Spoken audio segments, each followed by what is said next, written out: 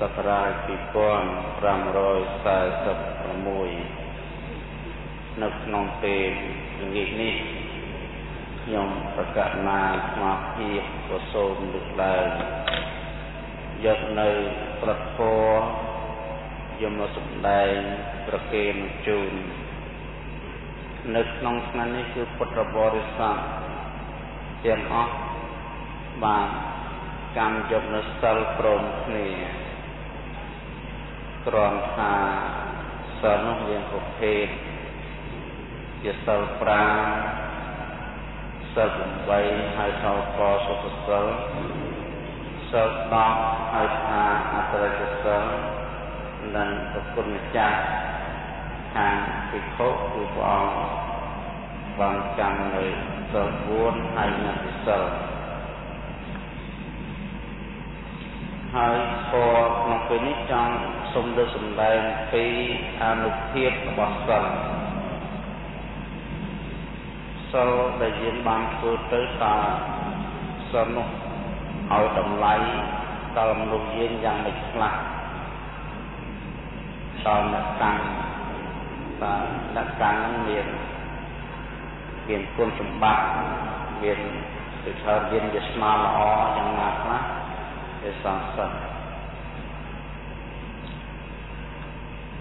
ពាក្យថាសិលនៅក្នុង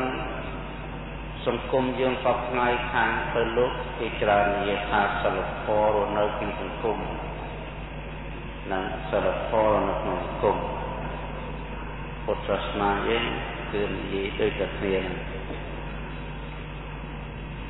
យើងសូមពិនិត្យអំពីសិក្ខាបទទាំង5សិក្ខាបទទាំង5ហ្នឹង លោកហៅថានិច្ចសិលសិលដែលពុទ្ធបរិស័ទដែលត្រូវកាន់ជាជានិច្ចកាលគ្រប់ពេលវេលាមិនថាពេលណាជាពេលណាទេឲ្យតែកម្មសិល5គឺត្រូវតែជានិច្ចកាលទាំងហើយសិល5នេះជាបុរាណធម៌មួយ ដែលមានតាំងពីដើមមកគឺយើងពិនិត្យទៅលើសិក្ខាបទ5ដែលជាពាក្យថាបាណានិបាបាណានិបាតាវេរមណីយេចការកំណត់សានទី2អតនិទានាវេរមណីយេចកាន់យកគ្រាប់មកគេមិនបានអោ ទី3កាមេសុមិឆាចារាវេរមណីវិជ្ជការប្រកបធម្មកាមមុសាវាទាវេរមណីវិជ្ជការនិយាយកុហកសុរាវេរយៈមច្ចប្រមាទសត្ថានាវេរមណីវិជ្ជការផឹកទឹកស្រវឹងនេះយើងពិនិត្យមើលស្ថាបទ5នេះតើ យើងមិនពោលទៅដល់សិក្ខាបទ8ឬក៏10ឬក៏សិក្ខាបទ227ទេគឺយើងពោលត្រឹមតែសិក្ខាបទ5តាមមានគុណសម្បត្តិគុណភាពយ៉ាងណាខ្លះតែអនុភាពរបស់សរុបបាណាតិបាតមួយដែលបុគ្គលបានកាន់យកទៅ ព្រះសម្ដែងថាដល់រងាប់នៅ2នេះគឺថាអានុភាពទី1គឺរងាប់នៅ2រងាប់នៅ2ហ្មងពាក្យថា2នេះពាក្យថា2បានន័យថាធម៌ណាដែលប្រយុទ្ធគ្នាសងគ្នាទៅមកនោះហើយពី ន័យថាការសម្រាប់ស៊ីសំគ្នាតគ្នានឹងរហូតទៅពេលនឹងចង់និយាយចឹងភាសាខ្មែរយើងវិវរីជាប់តាម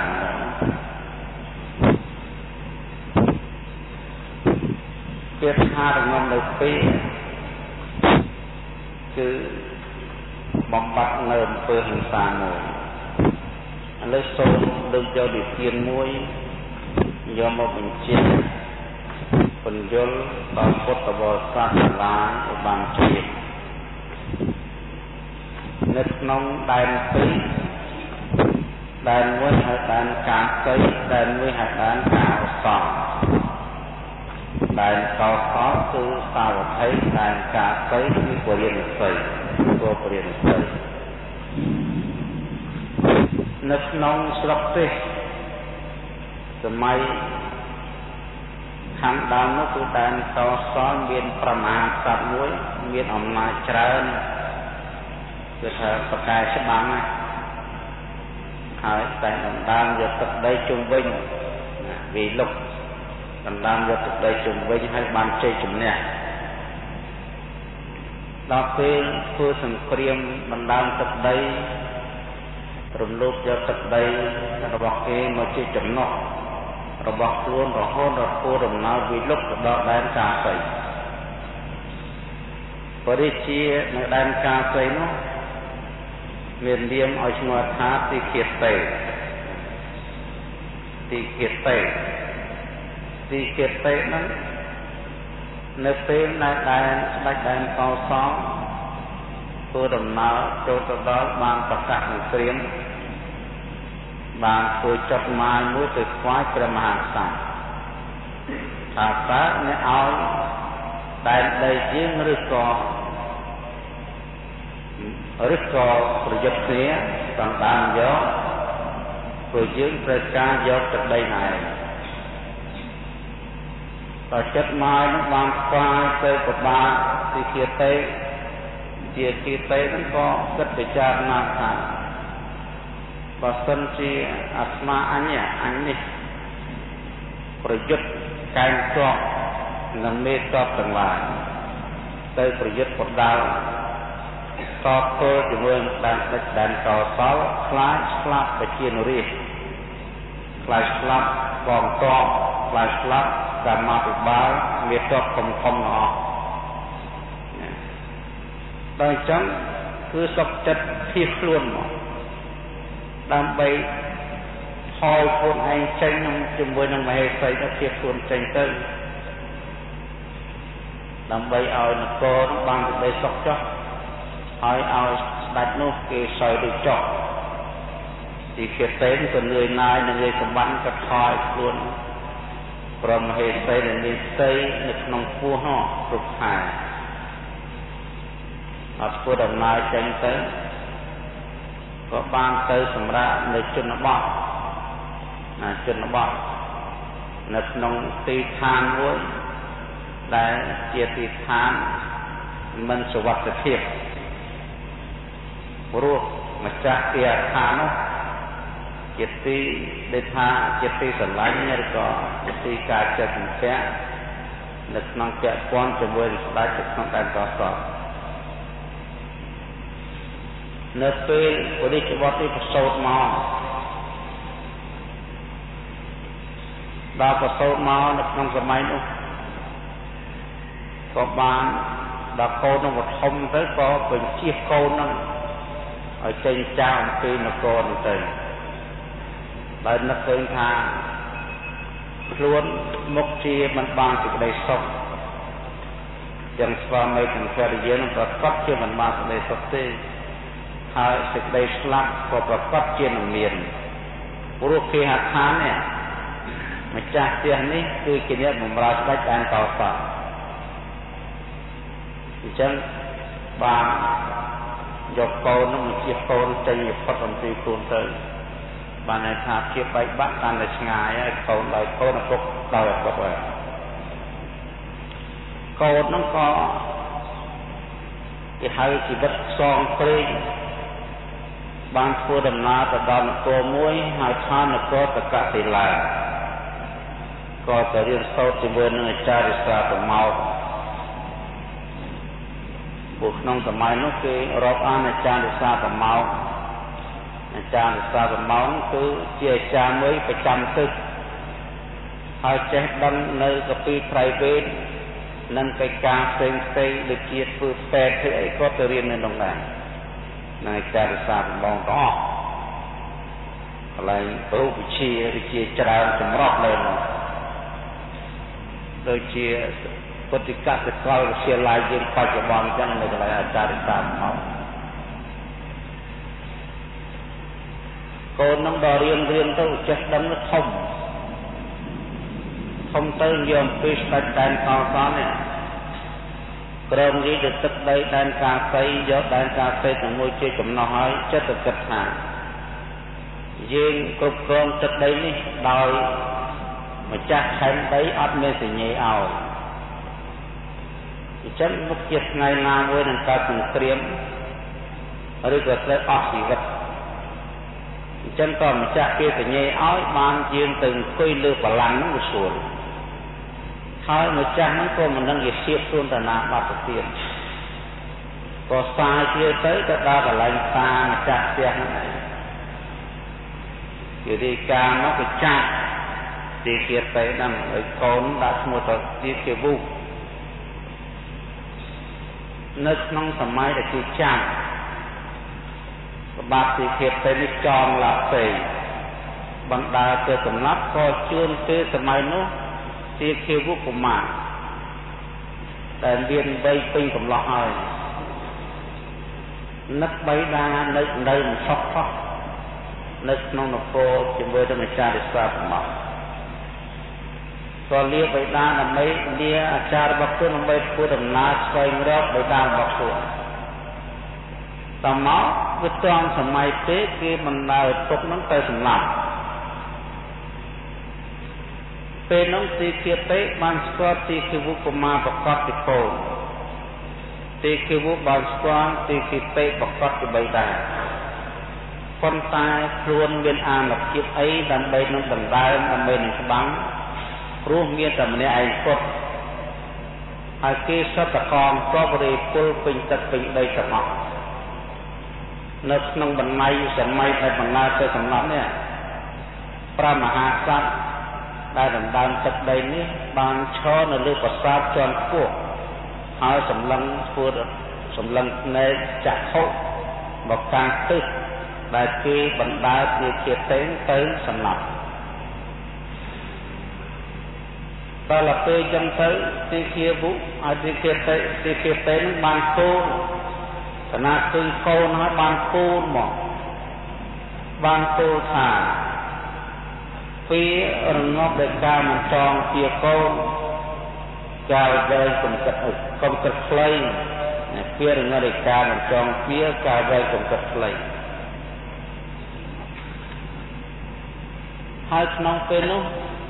ពួកអាមាពួកពេជ្ជឃាតដែលគេបណ្ដាយកទៅសម្លាប់គេថាទីខៀវពេកហ្នឹងវងវែងឈួតទេ ព្រោះមនុស្សយើងដល់ពេលសេចក្តីស្លាប់បណ្ដល់ហើយចិត្តតែគួរជាថាអញ្ចឹងទៅព្រោះមានដឹងថាមានកូននេះណាអត់ដើរទៅជាមួយគ្នាស្បែកស្បែកគ្នាគេក៏មិនដើរយកទៅកាត់ចពី3កណាត់ទៅស្លាប់ទៅហើយគាត់នឹងចេះស្រែកអញ្ចឹងស្រែកទៅដាច់ចោលតែថាពៀងងល់ឯកាមិនចងពីកូនកាលទៅកំចិត្តខ្លី គឺអីក៏ដោយពេលវេលាវែងកំចិត្តលះពេកពេលហ្នឹងនៅពេលដែលពួកពេជ្ជធាសម្លាប់រួចហើយដើរជាចេញបាត់ទៅស្កាត់ឈិនអស់មានមនុស្សម្នីអីហើយនៅក្នុងព្រៃស្មោសាទីជាពុក៏បានទៅប្រមូលសាសពបីតារបស់ខ្លួនដាក់លើជើងស្ក ហើយដើរប្រតិសិនសុំកម្មាទោសហើយជាចេញទៅពេលនោះបរិជាដែលបានយកភ្នែកចោលទៅកាន់កន្លែងសាកសពក្រឡេកឃើញច្បាស់ថាអ្នកដែលធ្វើពិធីសុំកម្មាទោសនោះមិនណាក្រៅអំពីបរិជាបុត្រទីគាតេទីគាតេនេះទេ បើអញ្ចឹងខ្លួនអញក៏មិនទាន់បានសេចក្តីសុខដែរបើសិនតែកូនគេនៅមានជីវិតអញក៏គង់អស់នៅក្នុងពេលណាមួយមិនខានឡើយដឹងខ្លួនចឹងហើយហើយប្រជុំអាមាត្យទាំងអស់ប្រាប់ចឹងប៉ុណ្្នឹងទៅហើយណាហើយមិនស្គាល់មុខទៀតហើយនឹងក៏ភៀសខ្លួនបាត់ទៅ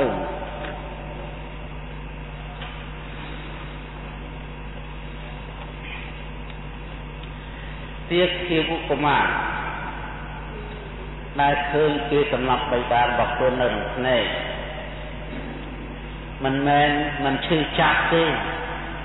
ឈឺចាប់ណាស់ខំណាស់ប៉ុន្តែកម្លាំងខ្លួនមានតែម្នាក់ឯងបើសិនជាប្រយុទ្ធពេលនឹងក៏មិនស្នះគេដែរហើយក៏មិនបានជ័យជំនះហើយអត់ប្រយោជន៍ទៀត អញ្ចឹងចាំប្រយុទ្ធគ្នាក្នុងពេលក្រោយដោយប្រើវិធីសាស្ត្រដើម្បីរកដេចក៏សម្លាប់ស្ដេចនេះឲ្យតតបានតែប្រើទីពេលវេលាវែងតិចអានចំកំផងទុកមក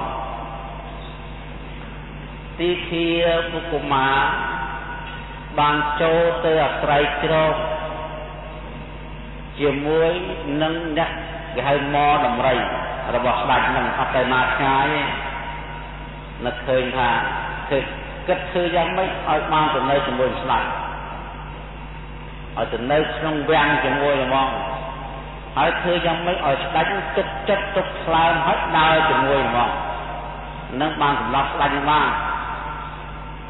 ចឹងទៅខ្សែគប់នឹងមដំរីឲ្យគាត់ប្រកាយដេញពិនឲ្យច្រៀង ពេលរាត្រីម៉ោង10ម៉ោង12ម៉ោងឡើងគាត់ដេញពិនឲ្យបន្លឺនៅសំឡេងឥឡូវទៅលួតាមផ្ទៃអាកាសសំឡេងពិននិងសំឡេងច្រៀងវារំដំគ្នាប្រគួតទៅចេញពីអាចារ្យមកក៏បានចូលទៅកាន់សោតវិញ្ញាណរបស់ស្ដេចបរិជាអង្គនោះព្រះរាជានោះកាលណាមនុស្សសូរសំឡេងពិននិងចម្រៀងនោះ វាអណ្ដែតដងលងលូចដោយមនុស្សសញ្ចេតនាវិញឆ្ងាយគឺជាប់ចិត្តព្រលឹងឡើងបានឲ្យគេទៅកន្លែងមកដំរីនោះមកទៅសួរថាឯងបានមនុស្សណាមកដេញពិនឈៀងអីព្រោះម៉េះបានជាថាមានកុមារមួយមិនចាយកុមារសុភីសុភីសុភាទៅចេះចិញ្ចឹមចេះរសាទៅដូច្នេះខ្ញុំស្រឡាញ់ណាយកទៅឲ្យនៅក្នុងយ៉ាងជាមួយខ្ញុំទៅ ដើម្បីទៅដេញពិនជាងឲ្យខ្ញុំស្ដាប់ព្រោះខ្ញុំហត់មើលច្រើនអើយប៉ុន្តែអត់ដឹងថានឹងជាសត្រូវរបស់ខ្លួនទេពេលនោះក៏ធ្វើទឹកនឹកអ្វីអ្វីទាំងអស់គឺមិនឲ្យនរណាម្នាក់ដឹងរឿងពិតក្រៅអំពីខ្លួនឯងម្នាក់ជាអ្នកដឹងនឹងគេហៅចិត្តសាស្ត្រផ្នែកនយោបាយ ចាបើធ្វើដំណើរទៅនៅជាមួយបរិជាងនោះអស់កាលច្រើនឆ្នាំមិនមែនតែខែច្រើនឆ្នាំរហូតដល់ស្ដេចអង្គនោះមានទំនុកទុកចិត្តពេញចិត្តពេញស្លើមរហូតដល់បានមកកចាប់ស៊ីគ្នាពីរនាក់នេះមិនគិតថាខ្លួនជាស្ដេចជាខ្សាត់អីទេណាបានមកកចាប់ប្រោពីរនាក់ដែរដេកជាមួយគ្នាដើរជាមួយគ្នាមកពេញចិត្តណាស់ ដល់សម័យថ្ងៃមួយទៅប្រពៀតព្រៃមានសេះមានកងកបសពសារពើទៅឲ្យទីគាបុកមានឹងក៏បានដំបាយកញ្ចប់វិស្វាយទៅតាមព្រះមហាក្សត្រដោយសេះក៏លឿនស្វេជាមួយមហាក្សត្រហ្នឹង ហើយដល់ស្ទះវលឿនអញ្ចឹងទៅកងកបវាទៅវំតង់ព្រោះគ្នាវាច្រើនតែអញ្ចឹងទៅវាដាច់រយៈកងកបទៅតាមកងកបទៅបរិជាអង្គនោះទៅតាមបរិជាអង្គនោះនៅជាមួយនឹងទីគេមុខកមាប៉ុន្តែគេមិនស្គាល់ថានឹងឈ្មោះទីគឺពុទេគេខ្លាចច្រឡំទីជាទេនឹងសបឡំខ្លួនខ្លែងខ្លួនទាំងអស់ហើយដល់អញ្ចឹងត្រូវដាច់ចង្ហាន់នេះស្ដាច់ ក៏បានសួរទៅកាន់អ្នកបំរើខ្លួនខាងអ្នកបំរើឥឡូវអញឃ្លានបាយមានបាយហូបហើយទូងគុំមានបាយមកចប់លាបានទៅក៏សោយចង្ហាន់ទៅក៏ទុំលក់ទៅហើយទុំទុំលើក៏ផ្លូវទីគេវហ្នឹងទីគេវគិតថាឱកាសដល់ច្រើនឆ្នាំហើយមិនមានឡើយ ទើបតែពេលនេះជាឱកាសដ៏ល្អកងទ័ពទាំងឡាយក៏មិនមានមេទ័ពទាំងឡាយក៏មិនមានដូច្នេះបរិជាមានតែម្នាក់ឯងពុតហើយខ្លួនអញក៏មានតែម្នាក់ឯងពុតជីវិតអញក៏គ្មានន័យព្រោះមានតែម្នាក់ឯងបីតាមេត្តាសោយទីរំពុតអស់ ដោយសារបរិជាយ៉ាងនេះដូច្នេះអាត្មាខ្លួនអញនេះត្រូវតែគឺថាសម្លាប់ស្ដេចអង្គនេះគឺត្រូវយកឈាមពងកដើម្បីសងគុណបីតារបស់ខ្លួនតាំងចិត្តថាត្រូវតែសម្លាប់ស្ដេចនឹងចោលព្រោះស្ដេចនេះកំពុងតែដីលក់ហើយជាស្ដេចភ្លើង អត់ដឹងខ្លួនថាខ្លួនត្រូវស្លាប់ហើយអត់ដឹងថាអ្នកដើរជាមួយជាសត្រូវរបស់ខ្លួនឡើយដកដើរផ្លែកហើយដើរនឹងចង់ដើរនឹងผมបុកចំកលាបកដៃម្ខាងក្បាលជាប់លើកដើរឡើងក្រុមចាក់ឬស្ទើសំឡេងបីដាផ្ដាំថា ពីរងាប់ដោយការមិនចងពៀកូនការវែកគំកិតខ្លីទេឬសូរសំឡេងហ្នឹងញៀនវាចាំក្នុងចិត្តហ្នឹងណាដាក់បាយចុះត្រឡប់ទៅវិញម្ដងនឹកឃើញគេអាកកបីដែរអារម្មណ៍ហ្នឹងមនុស្សស្ពានហ្នឹងវាចាំគេកាប់បីដាពី3កណាត់នឹងស្នេហ៍របស់ខ្លួន ឈាមក៏ហមឡើងចាពេញមុខកើតកំហឹងទៀងដើរពងចាក់ណារាទៀតតែសម្លេងមីដាហ្នឹងដូចថាញៀនវាចាំមកទៀតពីរងវិការចំជាកូនកាយវែងកំចិត្តខ្លីពីរដងលើកទី3នឹកឃើញថាម្ដងនេះក៏ថៃសម្រាប់ចោលចងពៀគ្នាប្រមាណចិត្តក៏ចងនេះ លែងគិតឲ្យពីពៀហ្នឹងដើម្បីស៊ីសងគ្នាជីវិតគឺយកជីវិតដូរជីវិតលើកដើរឡើងច្បាមធំចាក់តើសម្លេងអីបានមកទៀតពីទីគីវកូនពីរងរិកាមិនចង់ទេការវែងកំគិតខ្លីពេលហ្នឹងស្ដេចអង្គហ្នឹងយកសព យកសពថាទីគីវកមាហ្នឹងគង់ចាក់ខ្លួនស្បិនមិត្តឃើញគេចាក់កពេលហ្នឹងដេកលួនហ្នឹងយកសពបើកថ្ងៃឡើងតែដើរនឹងកមែនយ៉ាងបានការយកសពនោះគឺជាការពិតមួយដាក់ដាច់បានពោលថាទីឃីវហេតុអីបានជាអ្នកចង់សម្លាប់យើងបបពិតមហារាជ នៅក្នុងពេលហ្នឹងគឺជាជីវិតចុងក្រោយរបស់មហារាជហើយមហារាជជាបុគ្គលត្រូវតែយើងសម្លាប់ព្រោះឯងសម្លាប់ដីដាយើងណែស្គាល់យើងទេយើងជាកូនស្ដេចទីគិតិជាកូនស្ដេចដែនកាសីឯងមានបានចាំងទេមាននឹកឃើញថាគេមានកូនគេទេ ហើយចុះមិនក៏ឯងមិនសម្លាប់យូរហើយបើសិនជាបរិជាឲ្យជីវិតខ្ញុំខ្ញុំក៏ត្រូវឲ្យជីវិតបរិជាដែរនៅក្នុងពេលនេះយើងទាំងពីរនាក់មានគ្នាតែពីរនាក់ទេបើសិនជាព្រះរាជាឲ្យជីវិតខ្ញុំខ្ញុំឲ្យជីវិតព្រះរាជាចុះយើងងើបវិញរួចបើកកយើងឯងច្បានជាប់ហើយ ហើយផ្លែដៃឯងនៅចង់កកយើងឯងយល់ថាម៉េចចង់និយាយថាម៉េចបបកត់មកទេសូមត្រង់ជ្រាប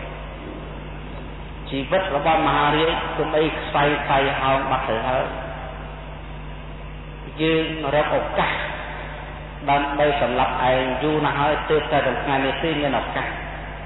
នៅពេលណាដែលយើងច្បាមកកណឯងជាប់ ផ្លែដើរយើងព្រមសម្រាប់ឯង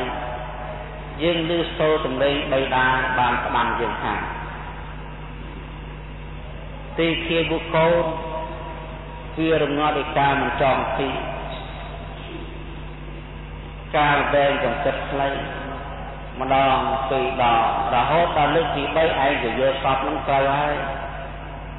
ព្រោះអញ្ចឹងបានយើងនិយាយថាបើឯងឲ្យជីវិតយើងយើងទឹកជីវិតឲ្យឯង